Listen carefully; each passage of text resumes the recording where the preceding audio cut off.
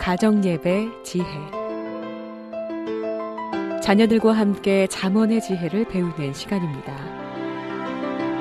코로나19로 어려운 것도 많지만 가족이 함께하는 시간을 선물로 받았습니다.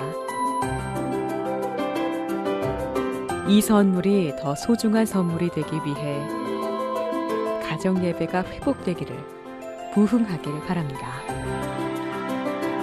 사랑하는 성도 여러분, 목요일 아침입니다. 오늘도 주님과 동행하는 에녹처럼 노아처럼 하나님과 함께 걸어가는 Walking with God 이 복된 한 날이 되기를 축복합니다. 기도하겠습니다. 고마우신 하나님, 오늘도 가정 예배 드리게 해 주셔서 감사드립니다. 저희를 통하여 영광 받아 주시고 이 한 날이 하나님과 동행하는 삶이 되게 하시되 이 시간이 그 첫 출발이 되게 하여 주옵소서. 예수님의 이름으로 기도합니다. 아멘. 오늘 본문은 잠언 24장 30절로 34절입니다.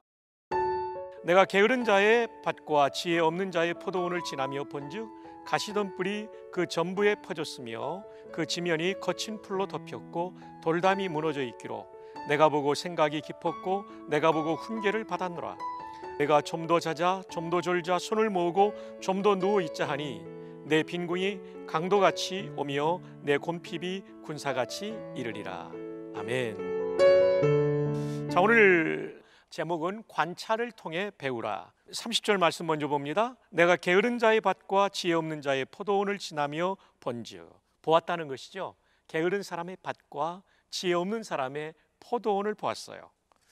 여러분 게으른 것 참 문제입니다. 이 자문이 계속해서 부지런해야 된다는 말씀해주고 있고요. 그다음에 지혜 없는 것도 문제입니다. 하나님이 주시는 지혜가 없이 산다면은 어, 중요한 때를 놓치고 중요한 일을 놓칠 수 있는 거죠. 그래서 이렇게 자문의 지혜를 통해 하나님의 뜻을 헤아리는 것 굉장히 중요한 것이죠. 자 어, 살펴보니까 어떻습니까? 이 자문의 기자가 살펴보니까 어, 31절입니다. 가시덤불이 그 전부에 퍼졌으며 그 지면이 거친 풀로 덮였고 돌담이 무너져 있기로 가시덤불과 거친 풀, 거친 풀은 잡초겠죠. 그래서 이것이 가득 차 있으니까 이 곡식이 밭의 곡식이 밭의 작물이 제대로 자랄 수 없는 거죠. 그리고 어, 포도나무도 어, 잘 자라고 아주 풍성한 포도 열매를 맺히기도 어렵다는 거죠. 거기 한 걸음 더 나아가면 돌담이 무너져 있었다. 여러분 돌담은요 들 짐승들로부터 이 밭과 그리고 포도나무를 지켜주는 거예요. 그러니까 아무런 아무런 경계도 없이 아무런 방어벽도 없이 이렇게 에, 밭작물과 포도들이 공격을 받는 상황. 그러니까 얼마나 많은 황폐함이 있었겠습니까? 이것이 게으른 자와 지혜 없는 자의 밭과 포도원에 나타나는 현상이죠. 맞습니다. 우리가 게으르거나 하나님의 지혜가 없으면 공부를 해도 그렇고 사업을 해도 그렇고 직장에 나가도 그렇고 장사를 해도 그렇고 또 예능과 체육을 하든 모든 분야에서 이런 황폐한 일이 일어나게 되는 거죠. 게으르고 지혜 없는 것 이런 결과를 낳는다는 것입니다. 자 그러면 이제 어, 다음 절로 나아갑니다. 32절. 내가 보고 생각이 깊었고 이분이 지금 대충 스쳐 지나가듯이 본 것이 아니에요. 이걸 보면서 생각이 깊은 거예요. 야, 게으르고 지혜가 없으면 저렇게 인생이 망가지는구나 하는 것을 깊이 생각하는 거죠. 아주 내 마음 깊이 이것을 받아들이고 그 다음에 어, 내가 보고 훈계를 받았노라. 훈계가 뭐예요? 교훈을 받았다는 것이죠. 그리고 어, 경계를 삼았다는 얘기죠. 예, 훈계는 교훈과 경계를 말하지 않습니까? 자, 훈계. 이 가르칠 훈자예요. 어, 게으른 사람과 지혜 없는 사람의 밭과 포도원을 보면서 내가 가르침을 받는 거예요. 교훈 받는 거예요. 훈계. 경계할 계자인데요. 경계할 계자. 예, 경계가 뭡니까? 어, 경계라는 것은 옳지 않은 일을 하지 않도록 주의하는 거예요. 그러니까 게으른 사람과 지혜 없는 사람의 밭과 포도원을 보면서 스스로 배우고 그리고 스스로 자기 자신을 주의하게 된 것이 훈계라는 말의 뜻이 되겠습니다. 히브리 말로는 우리가 자주 나왔던 단어니까 기억하는 분도 계실 거예요. 무사르라는 단어가 아, 사용되었습니다. 무사르 한번 써드리죠. 무사르. 히브리 말로는 이렇게 쓰게 됩니다. 무사르, 무사르. 예, 우리가 아, 훈계를 받는 거죠. 훈계. 그래서 교훈도 받고 아 조심해야 되겠구나. 나도 저도 저렇게 게으르거나 지혜 없는 사람이 되면 아 저런 인생을 사는구나 하고 어, 도움을 받는 거 이것이 훈계입니다.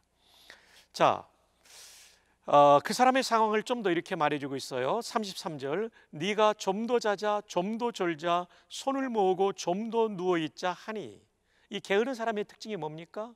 지혜 없는 사람의 특징이 뭡니까? 아, 쉬고 자는 거 누워 있는 것을 자꾸 조금씩 조금씩 더 하고 싶어 하는 거예요. 이제는 딱 일어나야 되는데 일어나지 않는 거예요. 계속 누워 있고 계속 할 일 하지 않고 연기하고 있고 이런 사람이 게으른 사람이고 지혜 없는 사람이라고 할 수 있습니다. 이렇게 살면 결과가 무엇입니까? 34절 내 빈궁이 강도같이 오며 빈궁은 가난함이라는 거예요. 가난함이 강도같이 오며 그리고 내 곰핍이 이것도 가난하다는 얘기거든요. 군사같이 이리라. 여러분 강도와 군인들의 특징이 뭡니까? 기습이에요. 갑작스럽게 밀어닥쳐 가지고 우리가 대비하지 못하게 만드는 거죠. 두 번째 특징이 뭡니까? 첫 번째가 기습이란 두 번째 특징은 약점을 공격한다는 거예요. 우리의 게으름과 지혜 없는 약점을 기가 막히게 알고 반드시 내 것을 빼앗아가고 그리고 나를 점령하는 일이 있다는 것이죠. 맞습니다. 게으르고 지혜 없는 사람은요 기습적으로 가난이 찾아와요. 그리고 반드시 가난한 결과를 얻게 된다는 거예요. 그래서 여러분 우리 가운데 게으른 사람이 있다면 또 지혜 없이 해야 될 일을 때에 맞게 하지 않는 사람이 있다면 아 이거 내가 문제구나 하고 오늘 훈계를 받아야 돼요. 훈계를 받아서 교훈 받고 자기 자신을 잘 주의하는 사람이 된다면 이 문제를 뛰어넘을 수 있다는 거죠. 여기서 저는 대학 시절에 내수동계 대학부에서 배웠던 이 관찰에 대한 것을 좀 나누려고 해요. 예. 이 관자가 한자로 이렇게 되죠. 볼 관자, 뭐 관광할 때도 이 관자를 쓰죠. 근데 이 관자가 또 어떤 훈이 있냐면요. 자세히 볼 관자가 있어요. 자세히 볼 관자. 자세히 본다. 여기서는 관찰할 때는 자세히 볼 관, 그냥 볼이 아니라 자세히 볼 관으로 훈을 새겨야 되겠죠. 자, 그 다음에 찰자는 살필 차자입니다. 살핀다. 자세히 살핀다. 이렇게도 되지만 조사할 찰자도 있어요. 감찰할 때는 조사할 찰자죠. 조사할 찰자. 그러니까 어, 그냥 보는 것이 아니라 사물을 자세히 조사하듯이 보는 것이 관찰이에요. 영어로는 observation. 저희 내수동교회 대학부에는요 대학생 주보에 observation 칸이 있었어요. 이것이 바로 오늘 본문을 근거로 하게 된 건데 이제 설명을 좀 드리겠습니다. 어, 오늘 본문에 보면 첫 번째 항목이 이거예요. What I see. 나는 무엇을 보았는가? 나는 무엇을 보았는가? 여기에 보면 30절로 31절이죠. 30절로 31절에 보면 이 사람이 본 게 나옵니다. 게으른 자의 밭과 지혜 없는 자의 포도원을 지나며 보았다. 자세히 보니까 가시덤불이 많이 있고 거친 풀로 덮여 있고 돌담이 무너져 있었다. 이게 와라이시 나는 무엇을 보았는가 를 어, 설명해 주는 거죠. 두 번째는 와라이런 와라이런 나는 무엇을 배웠는가? 이것이 32절로 34절에 나오는 내용이죠. 무엇을 보았습니까? 내가 보고 생각이 깊었고 내가 보고 훈계를 받았다. 나는 무, 무엇을 배웠는가? 무엇을 배웠냐면 훈계를 받았다는 거죠. 그 훈계의 내용이 뭡니까? 좀더 자고 졸고 누워 있으면 빈공이 강도같이 군사같이 온다. 가난이 군사처럼 강도처럼 반드시 쳐들어오고 그리고 기습적으로 쳐들어온다. 이것을 이 사람이 배웠다. 교훈을 받았다는 것이죠. 러는 배웠다는 뜻도 있고 교훈이라는 뜻도 있지 않습니까? 다시 한번 봅시다. 자, 오늘 자문의 기자는 관찰을 했어요. observation을 했어요. What I see. 게으른 자와 지혜 없는 자의 밭과 포도원을 보았고 보니까 그런 사람의 밭은 가시덤불이 많고 잡초도 많고 돌담도 무너지게 되더라. 되더라가 아니라 어, 그렇게 되어 있더라. 이것을 본 것입니다. C 보았어요. 그다음 이걸 통해 뭐를 배웠는가 교훈을 받았는가 아, 그 사람은 반드시 가난하게 된다는 것을 내가 교훈을 받았다. 그 다음에 마지막 세 번째 observation의 단계는 what I apply. 이것은 성경에 나와 있는 것이 아니라 내가 적용해야 되는 거죠. apply는 적용이니까 이런 교훈을 통해서 내가 어떻게 살아야 될 건가? 어떻게 적용할 수 있겠어요? 아, 요즘 내가 보니까 온라인으로 예배를 드리다 보니까 예배의 자세가 제대로 되어 있지 않고 예배 중간에 들어오기도 하고 복장도 갖추지 않고 내가 게으르기도 하고 지혜도 없으니까 이제 예배를 잘 드려야 되겠다. 예배 10분 전에는 영상을 미리 켜놓고 기도하면서 기다려야 되겠다. 이런 거 정말 좋은 업조베이션이 되는 거죠. 내가 요즘 영상으로 강의를 많이 듣고 공부를 또 하다 보니까 어린이들부터 대학생까지 대학원생까지 아 내가 너무 게을러졌다 이런 거. 내가 지금 밖으로 나갈 수 없으니까 어, 운동도 안 하고 그러는데 실내에서 내가 운동을 좀 하면서 몸도 좀 가꿔야 되겠다. 내 가족들과 함께 있으면서 삼시세끼 밥을 대접하다 보니까 난 주부로서 너무 힘들다. 그래서 그렇지만 이제 이런 기회에 가족들의 건강을 위해서 편식하지 않고 건강한 식단을 좀 마련해서 모처럼 가족들의 건강을 챙기겠다 이런 거죠. 그리고 남편들은 내가 집에 들어오면 아, 쉬려고만 했는데 직장 생활하는 아내가 맞벌이 부부아내 너무 아내한테 내가 일을 많이 맡겼구나. 내가 이제 방 청소는 무슨 일 있어도 내가 꼭 하겠다. 아니면 무거운 물건을 들거나 쓰레기 버리는 거 음식물 쓰레기는 내가 해야 되겠다. 뭐 이런 등등의 여러 가지를 우리가 apply 적용할 수가 있는 것이죠. 적용. 예. 여러분 지난 시간에 이 맞을 적자에 쓸 용자 이게 적용이에요. 내게 맞게 어, 이렇게 일을 하는 것이 적용이에요. 이게 바로 apply죠 이런 observation을 통해서 이런 적용을 좀 꼭 하시면 좋겠습니다.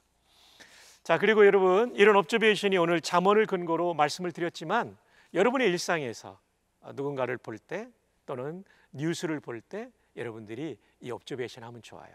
최근에 어떤 그 고위 공직자들의 성적 탈선을 보면서 아, 내가 누구누구의 탈선을 보았다. 그 사람들에게 이런 일들이 있어서 탈선이 됐다.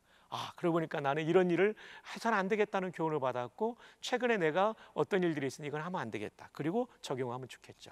그래서 모든 일에 옵저베이션 관찰을 하시면 영적인 좋은 교훈을 얻을 수가 있겠습니다. 자, 이제 오늘 말씀의 결론입니다. 오늘 말씀의 제목은 관찰을 통해 배우라입니다. 게으른 사람과 지혜 없는 사람의 밭과 포도원을 보면서 자문의 기자 솔로몬은 배운 것입니다. 이처럼 우리도 내 주변에서 일어나는 일들을 통해서 잘 배우고 적용하기를 바라고요. 또 오늘 본문을 통해서 게으른 자와 지혜 없는 자에 대한 어, 잠언 기자의 관찰을 배웠는데 요거 가지고도 우리가 좀 적용하면 좋겠습니다. 그래서 우리는 하루를 살아가면서 성경 말씀을 통해서도 교훈을 받고 주변에 되어진 일들을 통해서 영적인 해석을 통해서 이런 관찰을 통한 깊이 있는 영적인 해석을 통해서도 교훈을 받으면서 아, 하루 종일 하나님과 동행하는 그런 한 날을 꼭 살아가기를 바랍니다. 여러분 축복합니다. 오늘도 승리하시기를 주님의 이름으로 축복합니다. 기도하겠습니다. 고마우신 하나님, 이 좋은 관찰 우리도 하게 하셔서 매일 매 순간 하나님의 뜻을 발견하며 하나님과 동행하는 저희들이 되게 하옵소서. 각 가정의 기도의 제목에도 신실하게 응답하여 주실 예수님의 이름으로 기도합니다. 아멘. 여러분 오늘 한 날도 복되고 승리하는 한 날 되시기를 축복합니다. 감사합니다.